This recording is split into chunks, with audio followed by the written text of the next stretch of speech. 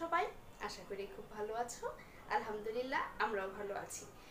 তোমাদের সবাইকে shine computer kinder গার্ডেনের এসসিকে অনলাইন ক্লাসে স্বাগত জানাচ্ছি। আজকে আমি তোমাদের কেজির বাংলা ক্লাস লিখব তোমরা দেখতে পাচ্ছ, আমি কত পৃষ্ঠা লিখেছি? বাইশ পৃষ্ঠা। তোমাদের গত ক্লাসে ম্যাম তোমাদের এক নং করিয়েছিল, তাই না? আজকে আমি তোমাদের দুই নং এর যে এখানে শূন্যস্থানগুলো আছে, তিনটি মাত্র শূন্যস্থান আছে, আজকে আমরা এই তিনটি শূন্যস্থান শিখব।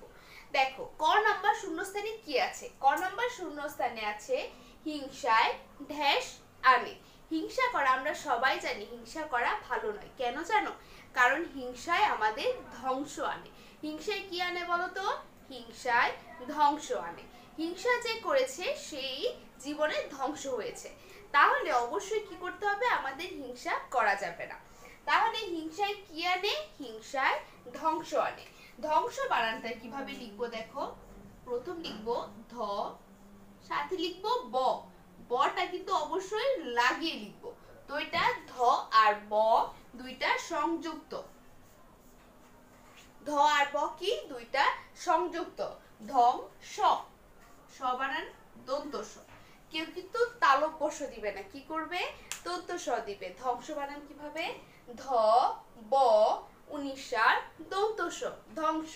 হিংসায় ধ্বংস আনে। ড্যাশ অঙ্কে ভালো। কি অঙ্কে ভালো বলো তো পিঙ্কি অঙ্কে ভালো। আমরা সবাই জানি না, আমরা এখানে রিডিং এ তিন নাম্বার, চার নাম্বার লাইনে ছিল পিঙ্কি অঙ্কে ভালো। পিঙ্কি বানানটা কীভাবে? পরিষ্কার পি উনিশার করিষ্কার কি? পিঙ্কি। কে অঙ্কে ভালো? পিঙ্কি অঙ্কে ভালো। তারপর দেখো গ নম্বরে আছে রেগে মেগে ঢ্যাস এখানে আমরা একটা ছন্দ পড়েছি, তাই না? রং মেখেছে, দেখো, আমরা ছন্দটা কি ছিল? রং মেখেছে, সং সেজেছে। করছে ওরা ঢং, তাই না? দেখি, সিংহ মামা, রেগে মেগে টং। তাহলে এখানে কি ছিল আমাদের ছড়াটা সর্বশেষ লাইনে কি ছিল? রেগে মেগে টং। টং বানানটা কীভাবে? ট, উনিশা টং। রেগে মেগে কি? রেগে মেগে টং। টং বানানটা কীভাবে? ট উনিশার টং। দেখো, আমরা ক নাম্বারটা আবার দেখছি। ক নাম্বারে কি আছে আমাদের? ক নাম্বারে আছে হিংসায় ঢ্যাস আনে। হিংসায় কি আনে? হিংসায় ধ্বংস আনে। ধ্বংস বানান কীভাবে? ধ, ব, সংযুক্ত উনিশার দন্তস ধ্বংস আনে। ড্যাশ অঙ্কে ভালো। কে অঙ্কে ভালো? পিঙ্কি অঙ্কে ভালো। পিঙ্কি বানান কীভাবে? পরিষ্কার পি উনিশার কয়শিকার কি? পিঙ্কি পিঙ্কি, অঙ্কে ভালো। তারপর আছে রেগে মেগে ঢ্যাস রেগে মেগে কি হবে? রেগে মেগে টং। টং বানান কীভাবে? ট উড়িষ্যা টং। রেগে মেগে টং। তাহলে কালকে তোমাদের শুধু এই তিনটা শূন্যস্থান কালকে তোমাদের এসডব্লিউ খাতার কাজ থাকবে। ঠিক আছে? অনেক সহজ পড়া, আশা করব তোমরা এখনই শিখে নিয়েছো। এখনই এসডব্লিউ খাতার কাজ করে নিবে। আজকে এই পর্যন্তই। তাহলে তোমরা এখন ম্যামদের সাথে অন্য ক্লাস করো। তাহলে আগামী ক্লাসে তোমাদের সাথে আবার দেখা হবে। এই পর্যন্ত তোমরা ভালো থেকো, সুস্থ থেকো, নিরাপদে থেকো। Good bye good morning students সবাই কেমন আছো? আশা করছি তোমরা সবাই অনেক ভালো আছো, আমিও ভালো আছি। আমি শাইন কম্পিউটার কিন্ডারগার্টেন স্কুলে অনলাইন ভিত্তিক ক্লাসে তোমাদেরকে স্বাগত জানাচ্ছি। আজকে আমি কেজি ইংরেজি ক্লাস নেব। তো আমাদের তো সিলেবাসের লেসন টেস্ট দুটি আছে দুটি কিন্তু আমরা শেষ করে ফেলেছি। এখন আমরা রিভিশন আবারও পড়ছি। তো আজকে আমরা কয় নং দেখো বলো তো? আমরা কিন্তু এই ছাব্বিশ পৃষ্ঠা রিভিশন শুরু করেছি। এক, দুই, তিন নং সব শেষ হয়ে গেছে। এখন আজকে আমরা চার নংয়ের পুরো একেবারে সবগুলোই পড়ব। তো চলো আমরা চার নংয়ে কি আছে দেখে দেখে নেই। Right down tick mark on the correct one যেটা ঠিক সেটার উপরে কি আমরা টিক চিহ্ন দিব। তো দেখো এখানে সঠিক উত্তরের উপরে টিক চিহ্ন দাও। Those are oblique is cups তাহলে আমরা জানি কি দোজের পরে কি হয়? দোজের পরে আর দোজ আর কাপস তাহলে আমরা কোথায় টিক চিহ্নটা দিব? অবশ্যই আর এর উপর টিক চিহ্ন দিব। এরপর এটা আছে those are oblique am oblique is stars তাহলে আমরা এখানে কোনটার উপরে দিব?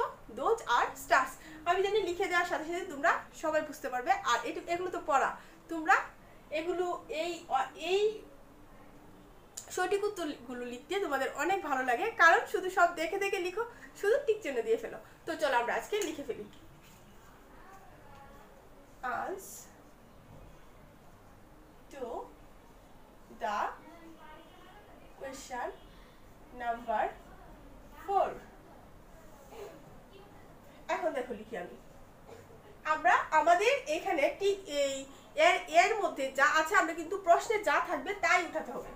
Those T H O S E those are oblique is cups C U P S cups এখন বলো কোনটাতে হবে আরে হবে নাকি ইচে হবে? অবশ্যই দোজের পরে কি হয়? আর হয়। আর আমরা তো এটা মুখস্থ শিখেছি। দোজ আর কাপস ওইগুলো পেয়ালা। তো এখন আমরা লিখব B number those T H O S E those are am is stars S T A R S stars তাহলে কি হবে? দোজ আর স্টার্স আমরা আবারও দোজের পরে কাকে টিক চিহ্নটা দিয়েছি আর এর উপরে। এখন হলো C number these are am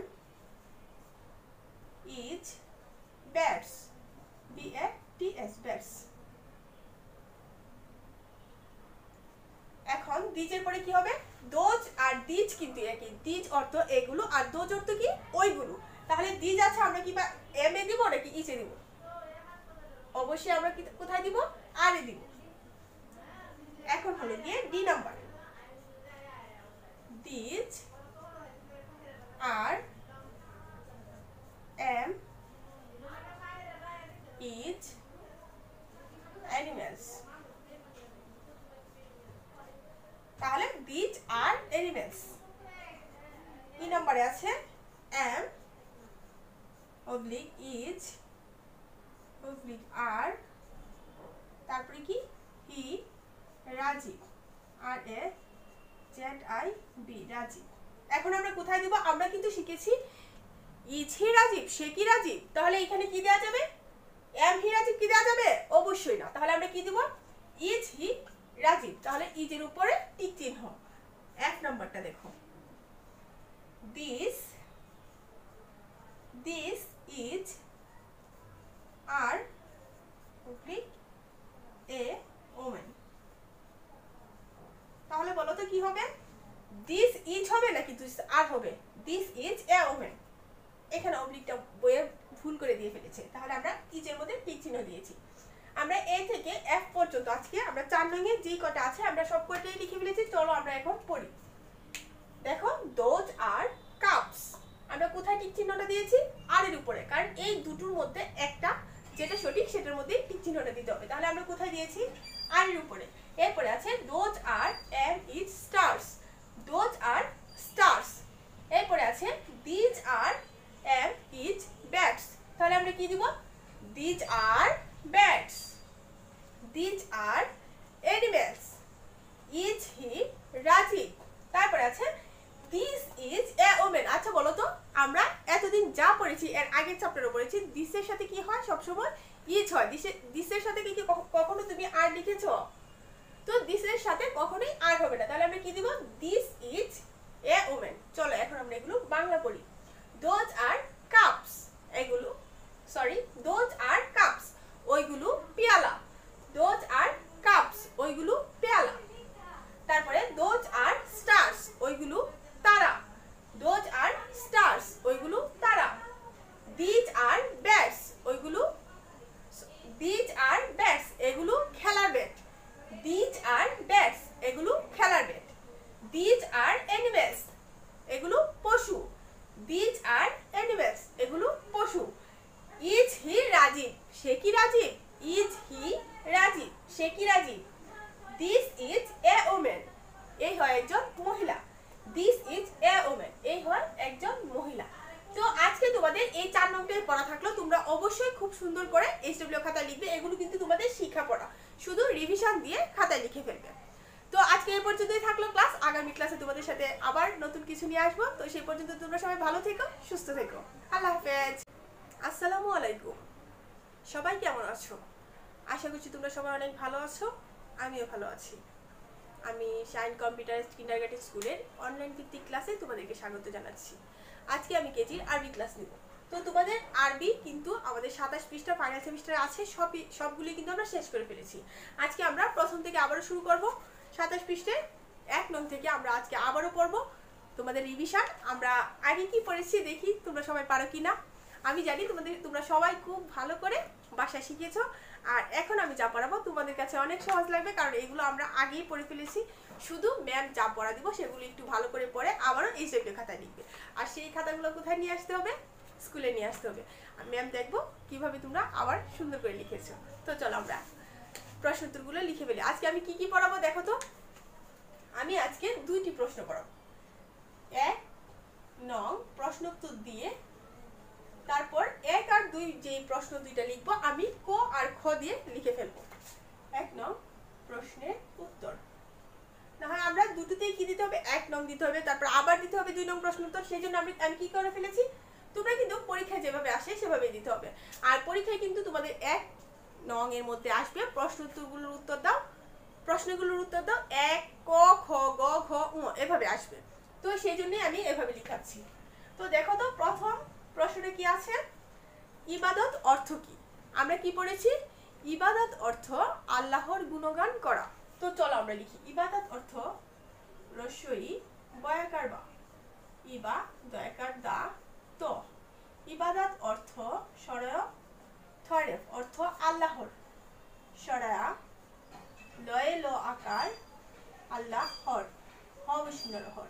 ইবাদত অর্থ আল্লাহর গুণগান করা। গরসকার গু মূর্ধন গুণ গয়াকার গা দন্তন, গান করা। অবসিন্নরের গানা করা দেখো, ইবাদত অর্থ কি? ইবাদত অর্থ আল্লাহর গুণগান করা।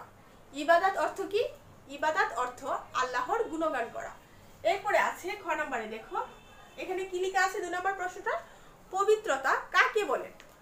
পাক সাফ থাকাকে পবিত্রতা বলে। আমরা কি শিখেছি? পাক সাফ থাকাকে পবিত্রতা বলে। তো চলো লিখ, লিখি আমরা। পয়াকার পা কো পাক সাফ। দন্ত সয়াকার সা ফ, সাফ থাকাকে। থয়াকার থা, কয়াকার কা, থাকা কয়াকারকে থাকাকে পবিত্রতা বলে। প বরে সয়াকার পবি, তরে ফলা তয়কাত্তা পবিত্রতা বলে। বলে গেলে বলে। দেখো, পাক সাফ থাকাকে পবিত্রতা বলে। পবিত্রতা কাকে বলে? পাক সাফ থাকাকে পবিত্রতা বলে। আমি জানি তোমরা এগুলো পারো, কারণ আমরা এর আগেও শিখিয়েছি। তো আজকে তোমাদের এই দুইটি প্রশ্নই থাকবে। তোমরা অবশ্যই এই স্টেপলিও খাতা পৃষ্ঠা পরে লিখবে তো আজকে এই পর্যন্তই তোমাদের পড়া থাকল। আমি আরেকবার পড়িয়ে নিচ্ছি। ইবাদত অর্থ কি? ইবাদত অর্থ আল্লাহর গুণগান করা। ইবাদত অর্থ আল্লাহর গুণগান করা। এভাবেই কিন্তু পুরো প্রশ্নটা লিখবে। এরপরে আছে পবিত্রতা কাকে বলে? পাক সাফ থাকাকে পবিত্রতা বলে। পবিত্রতা কাকে বলে? পাক সাফ থাকাকে পবিত্রতা বলে। তো আজকে এই পর্যন্ত তোমাদের পড়া থাকল। আগামী ক্লাসে আমরা এরপরে প্রশ্নটা পড়ব। তো আজকে আমি লিখে দিচ্ছি, সাতাশ পৃষ্ঠা,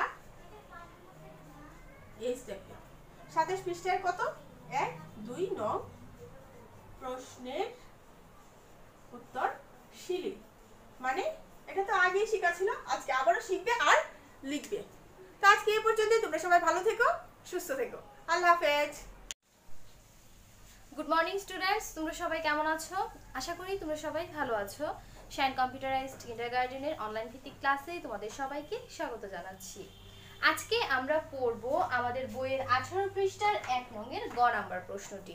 তো গ নাম্বার প্রশ্নটি হচ্ছে, মিথিলার রাজার নাম কি?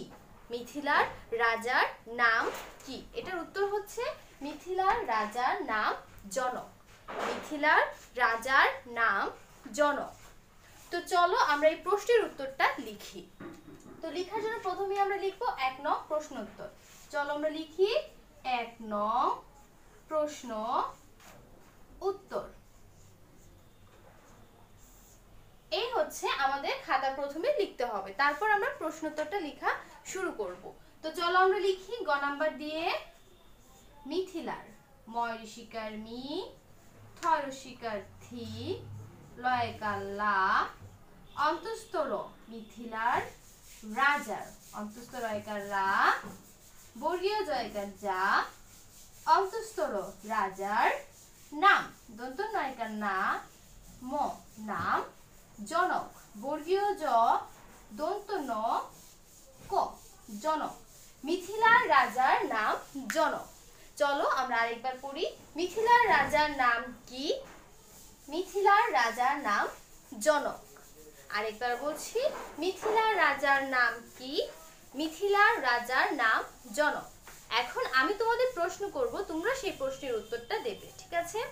মিথিলার রাজার নাম কি? মিথিলার রাজার নাম জনক।